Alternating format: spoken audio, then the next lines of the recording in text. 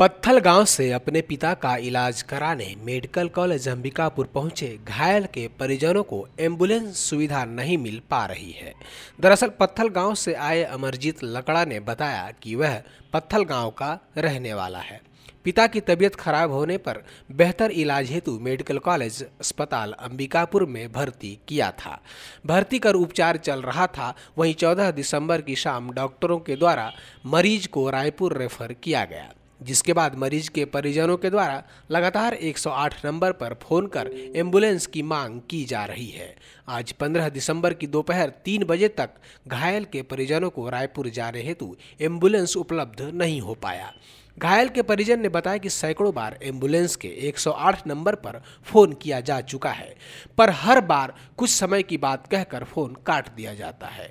वहीं परिजन का कहना है, सही समय पर एंबुलेंस नहीं मिलने पर कुछ अनहोनी होने की भी आशंका परिजनों को सता रही है। परिजन लगातार एंबुलेंस सुविधा मुहैया कराने वाले नंबर 108 पर फ़ोन कर रहे हैं।